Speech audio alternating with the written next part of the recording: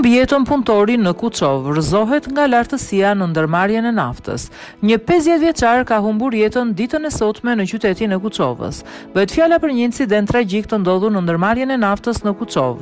Mësohet se 50 vjeçari ka rënë nga një lartësi gjatë kohës që punonte. Policia bëri me dije se viktima është AG 50 vjeç, i cili ka humbur jetën rrugës për në spital.